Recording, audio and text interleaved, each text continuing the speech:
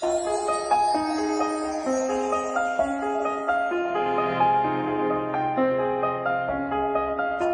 morning cold and raining dark before the dawn could come.